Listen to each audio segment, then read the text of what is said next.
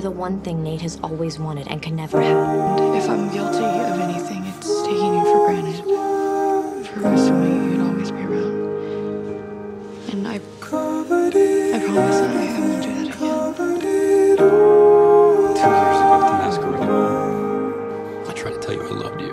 And I love you. Everything I really do.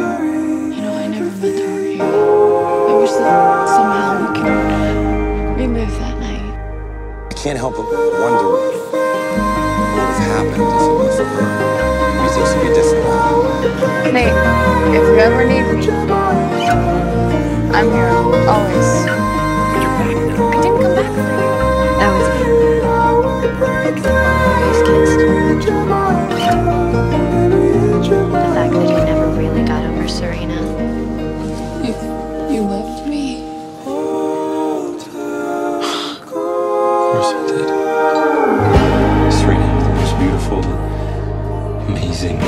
Person I know. You know what? Never mind. I changed my mind. I don't have anything to say to you. You're drifting away from Dan and your family, and you've lost Nate, one of your oldest friends. I love you. I just want to make things work again. Hey, um, if you want to reflect alone together, I'll be around. What are you up to now?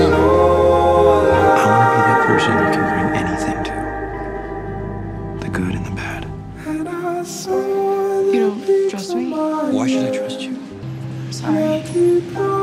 Look at what's happened to you. You've cut yourself off from everything and everyone that you care about. Look, Blair's my best friend, and you're her boyfriend, and she loves you. That's the way things are supposed to be.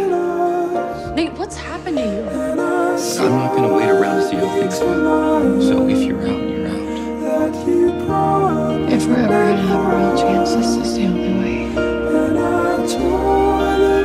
Don't let Serena get away again. I've waited a really long time for this.